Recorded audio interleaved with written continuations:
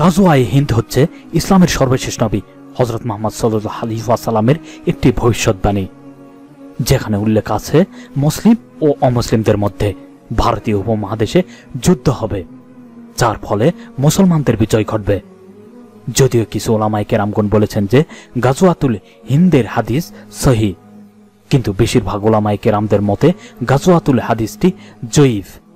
তবে যেহেতু এর সপক্ষে আরও হাদিস রয়েছে, তাই এটা নিয়ে সন্দেহ করার কোনো অবকাশ নেই। এ ব্যাপারে কিছু হাদিস আজ আমি আপনাদের সামনে তুলে ধরব ইনশাল্লাহ গুলাম সাহবান রাতে আল্লাহ তালা আনহু থেকে বর্ণিত।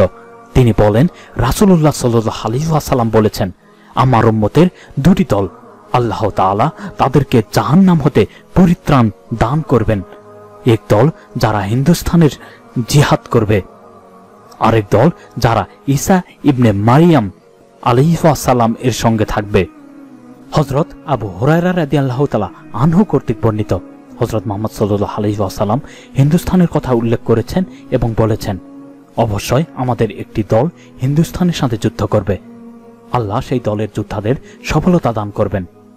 আর তারা রাজাদের শিকল বা বেরি দিয়ে টেনে আনবে এবং আল্লাহ সেই যোদ্ধাদের ক্ষমা করে দিবেন। এবং সে মুসলিমেরা ফিরে আসবে, তারা ঈসা ইবনে মারিয়ামকে সিরিয়ায় পাবে। হজরত আবু তালা আনহু বলেন, আমি যদি সেই কাজোয়া পেতাম, তাহলে আমার সকল নতুন ও পুরাতন সামগ্রী বিক্রি করে দিতাম এবং এতে অংশগ্রহণ করতাম। যখন আল্লাহ সুবানু আলা আমাদের সফলতা দান করেন এবং আমরা ফিরতাম, তখন আমি একজন মুক্ত আবু হুরায়রা হতাম। যে কিনা সিরিয়ায় হজরত ইসা আলহিসাল্লামকে পাবার গর্ব নিয়ে ফেরত। ও মোহাম্মদ সাল্লাহ আলহিসাল্লাম সেটা আমার গভীর ইচ্ছা যে আমি ইসা আলহিসাল্লামের এত নিকটবর্তী হতে পারতাম। আমি তাকে বলতে পারতাম যে আমি মোহাম্মদ সাল্লাহ আলহিসাল্লামের একজন সাহাবি। বর্ণনাকারী বলেন যে হজরত মোহাম্মদ সাল্লাহ আলহিহাসাল্লাম মুসকে হাসলেন এবং বললেন, খুব কঠিন খুব কঠিন। হজরত কাবরাদি আল্লাহ তালা আনহুর হাদিস। এটা হজরত কাবরাদি আল্লাহ তালা আনহু কর্তৃক বর্ণিত হাদিসে মোহাম্মদ সাল্লাহ আলী আসাল্লাম বলেন জেরুজালেমের একজন রাজা তার একটি সৈন্যদল হিন্দুস্থানের দিকে পাঠাবেন। যোদ্ধা হিন্দের ভূমি ধ্বংস করে দিবে। এর অর্থ ভাণ্ডার ভোগ দখল করবে। তারপর রাজা এসব ধন দৌলত নিয়ে জেরুজালেম সজ্জিত করবে। দলটি হিন্দ রাজাদের জেরুজালেমের রাজাদের দরবারে উপস্থিত করবে।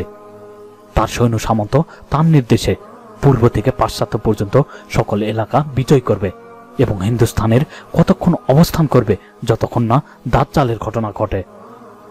নাইম ইবনে হাম্মাদ রহমতুল্লাহ ওস্তাদ ইমাম বুখারি রাজি আল্লাহ তালা আনহু এই হাদিসটি বর্ণনা করেন। তার আল ফিতান গ্রন্থ, এতে সেই উদ্ধৃতিকারীর নাম উল্লেখ নেই, যে কাপরাদি আল্লাহ তালা আনহু থেকে হাদিস বর্ণনা করেছেন। কিন্তু কিছু আরবি শব্দের ব্যবহার করা হয়েছে। তাই এটা এর সাথে সংযুক্ত বলে বিবেচিত হবে। এসব শব্দাবলী নিম্নরূপ আল মহকাম ইবনে নাফ ইন আম্মান, আদ্দা সাহু আন কাবিরা। হজরত সাফওয়ান বিন অমর রাদি আল্লাহ তালা আনহুর হাদিস। এই হাদিসটি হজরত সাফওয়ান বিন অমর রাদি আল্লাহ তালা আনহু এবং হাদিসের ক্রমানুযায়ী বিতর্কের পর্যায়ে আছে। তিনি বলেন, কিছু লোক তাকে বলেছেন যে রাসুল্লাহ সাল্লাহ আলী আসাল্লাম বলেছেন, আমার উম্মার কিছু লোক হিন্দুস্তানের সাথে যুদ্ধ করবে। আল্লাহ তাদের সফলতা দান করবেন। এমনকি তারা ইন্ডিয়ান রাজাদের শিকলবদ্ধ অবস্থায় পাবে। আল্লাহ সেই যোদ্ধাদের ক্ষমা করে দিবেন। যখন তারা সিরিয়ার দিকে অগ্রসর হবে, তখন তারা ঈসা ইবনে মারিয়াম আলহিফাসাল্লামকে সেখানে পাবে।